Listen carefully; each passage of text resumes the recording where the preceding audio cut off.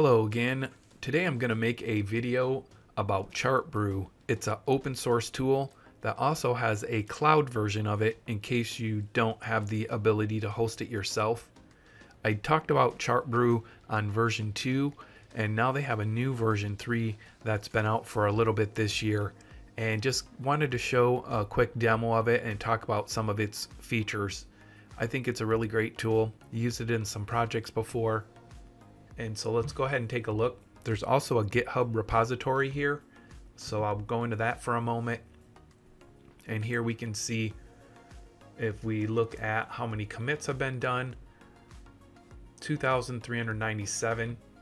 And if I click on that, we can see here all of the different days recently and versions that have been made to the program. Lots of fixes and enhancements and things going on with the program. So there's definitely a lot of activity going on in the product and just wanted to point out the GitHub repository. We can see on the home page of the GitHub, it says it is the open source web platform used to create live reporting, dashboards from APIs, Mongo database, Firestore, MySQL, Postgres, and more. And if we scroll down a little bit, you can see an example of one of the Chartbrew dashboards. And there are some setup instructions, which I actually walk through all of that on version 2. There will be some changes in version 3, and I plan to make another video and walk through the entire process and get it running on render.com which is another cloud service. And they even have a button here, deploy to render. So I plan to walk through that in the future. But let's go back to the main page here on Chartbrew and take a look at what they got. So you can create client reports effortlessly, build yourself a robust reporting infrastructure for your business with this tool. You can get started for free if we look at the pricing page, if you cannot host it yourself, then you have to go ahead and purchase a plan. You can get a starter plan for $29 a month. You can try it out for 14 days. And here you can see the differences between the different prices and, and options. So if you're interested, you can always give it a try for two weeks and see if it meets your needs or not. They do have a live demo here, which I'm going to go into that and show some of the cool things that it can do. But I just wanted to go through the home page here and we can see here the icon for going back to your main dashboard page, embedding and sharing information from this tool, setting your goals and set up alerts. You can also do automatic updates. You can change like your color palette and theming and different styles. And so here we have six different features of the tool client reporting. So here you can see uh, like the name of a team and then your dashboards, connections, and data sets. Everything's organized nicely here on this screen. You can create a new dashboard and then you can see who the dashboard members are data alerts. So like you can create new alerts like when you reach a milestone or when a value is above a certain threshold or below a threshold, when anomalies are detected. So it's pretty cool that you can set up your data alerts. You can share and embed information. So here you can enable or disable your sharing. There's a little code block here stuck in an iframe if you want to copy the code, there's just a button right there to do that. Or you can copy a URL and embed that in different places in your other applications or websites. There's also client accounts here, so you can see the different roles. You could be a team admin, a dashboard editor, that would be a client role where you can manage all charts in the selected dashboards, or a dashboard viewer, which is a client role, and they can view all charts and reports in the selected dashboard. So you can lock down your permissions and also whether or not you want to allow data export, you can turn that on and off easily. There's also templates, so you can use templates to help speed up your work. An automatic update, so every chart that has a data source can be configured to automatically update, which is pretty powerful. So here we have a little video showing how it's optimized for collaboration and speed. It's tailor-made for teamwork. You can easily collaborate on dashboards and reports with your team and share your insights effortlessly with clients or stakeholders. And I've just found using a tool like this can really help speed up communication of information to different stakeholders or customers or clients just depends on what your needs are. And here you can scale your client reporting with templates. As I mentioned, you can replicate your dashboards for your clients using templates. You can then further customize the data sets to match each client's needs, again, saving you a lot of time. And here you can see you can choose from a lot of different data sources, including like an API option. So there's hundreds, if not thousands, and more API connections, whether they're internal, customer, or external public type of APIs. There is a way using this tool to go ahead and connect to those and to grab data from those. And we'll take a look at that in the demo here momentarily. So you connect to your data source and you can gather all your data in one place like we saw on the dashboard screen. You can create data sets. They're the building blocks of your dashboards, and there's a lot of really great features here in these settings of the dataset builder. And then, of course, visualizing your data. There's a ton of different options, and it's very easy to configure this tool to show your data and dashboards in different view types. And as they mention here, you can create your dashboards with multiple visualization types and KPIs. You can track your goals, set up alerts, and filter data, and much more. And creating client reports with your own branding and share them with your clients. You can even invite your clients to Chartbrew to edit and view the reports and dashboards in real time.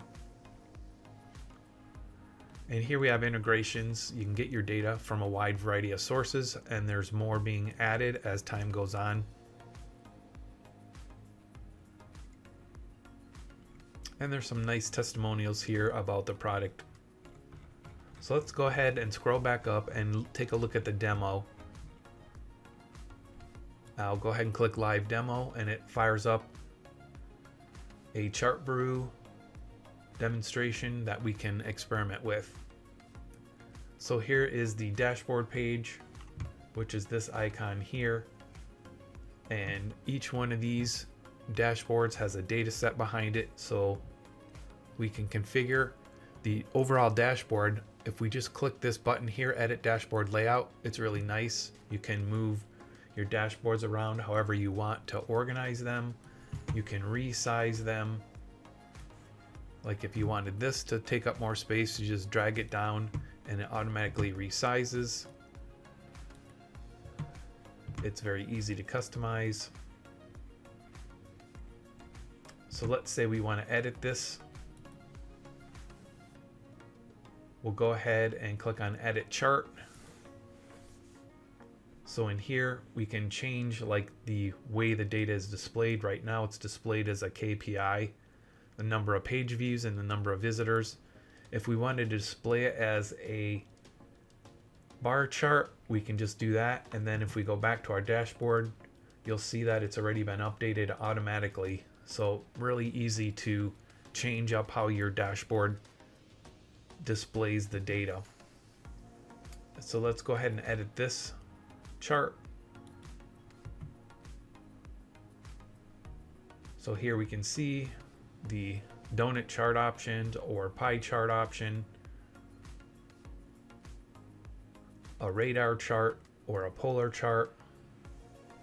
And down here we can see we have global date settings, time intervals, whether or not you want to show data labels, or legends and a lot of other options and features here filters changing your colors. There's just so much you can do here very easy to change. And then we can go back to the dashboard and you can see it's been updated. So what other options do we have here? You can refresh your chart if you know something changed. So it just went ahead and queried the backend database and updated that chart. As you saw, we can edit the layout. You can automatically update each one of these charts if you want to. So if I click on that, you can select a preset and change every 10 minutes, 15, 30, hour, 3 hours, 6 hours, or 12, day, week, or month. Those are our options and then you can choose other frequencies here on a custom basis. And also we can export to Excel individually here. We can add it to a report, which is another icon over here if you want to build a report. If you want to embed and share, we can go ahead and click that. But right now, because it's a private chart, it can only be seen by members of the team.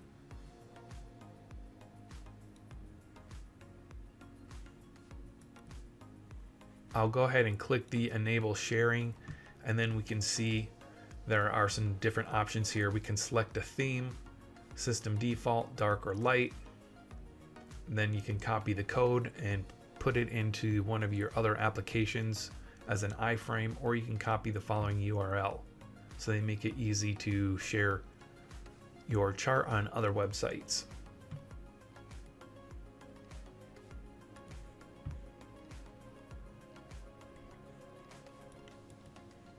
If you wanted to delete a chart, you can do that.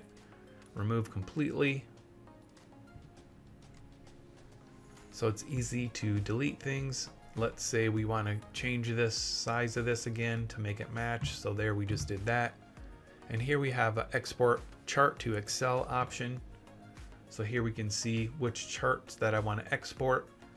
The 30 day stats, devices, site stats, or browsers and countries. And then you can choose the one you want or all of them and then click export. And there is a refresh charts button that you can click on there. And there is a filtering option right up here. So a very powerful way to do filtering on your dashboard. Date filtering, variable filtering, or matching field filtering.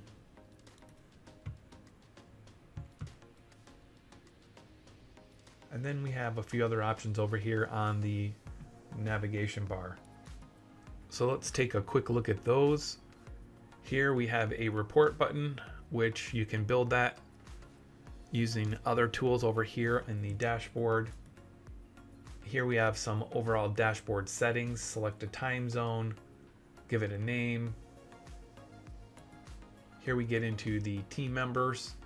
You can select a role or invite team members and you can see what the plan limits are 1 out of 25 or 0 out of 50 clients. And you can see the current team members is this team owner here. Then we have integrations. You can create new integrations that you can use across your team's projects. Currently the integrations are mainly used for chart alerts and notifications. So we can add new webhooks and lastly, there is the variables option. You can create a variable, give it a name. So here is a variable screen. You can create your variables here. Variables are used to create dashboard filters that interact with your chart. So first, make sure your chart filters have variables defined, then you can add your variable filters from your dashboard.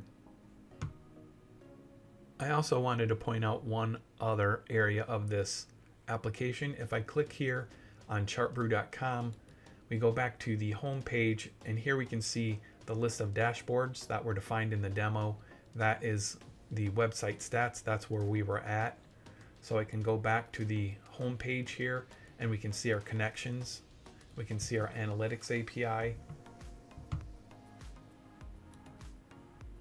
and our data sets. So here we can see the different data sets that were created, refers, page views, visitors, countries, browsers, devices, and UTM sources. And then we have our team settings.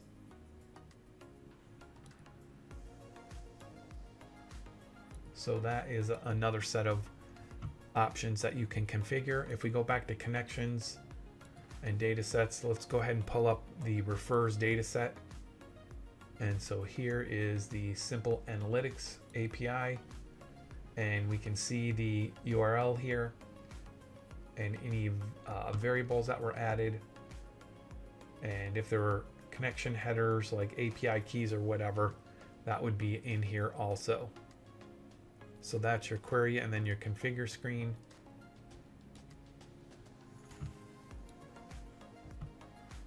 So there is a data source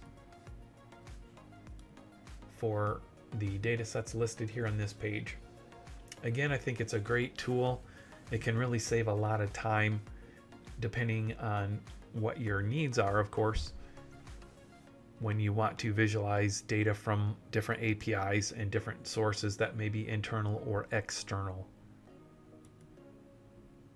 So that is a quick walkthrough of the Chartbrew website and demo application and some of the main features of it. And of course, I showed the GitHub so you can download it and install it and run it on your own like servers and cloud services.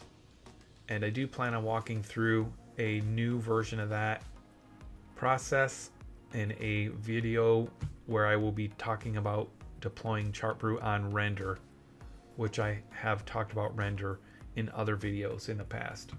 Well, I thank you for stopping by. It's been a minute and plan to make some other videos in the near future. And I thank you for watching the video and I'll talk with you soon. If you like this channel, please like and subscribe and hit the bell icon to be notified when I post new content.